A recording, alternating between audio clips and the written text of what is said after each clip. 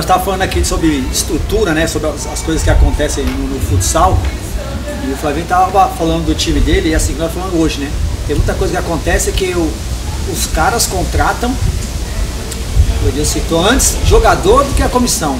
Aí o treinador chega lá, já tem os caras, mas peraí, tá tudo errado, porque tem que falar que o contrato é o treinador, que pede jogador é o treinador.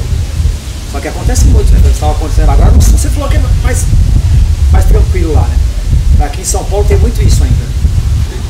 Não que lá não aconteça, né? É, tem tem é, essas questões. Assim, acho que da, da maneira geral é, é, muito mais profissional. As, os, os, times já, já tem uma linha de trabalho, já tem é, em termos de estrutura, né? Que a coisa funciona e tem muitos desgastes que, que, por exemplo, eu tive aqui em São Paulo que lá não acontece, que as coisas já, já naturalmente já acontecem.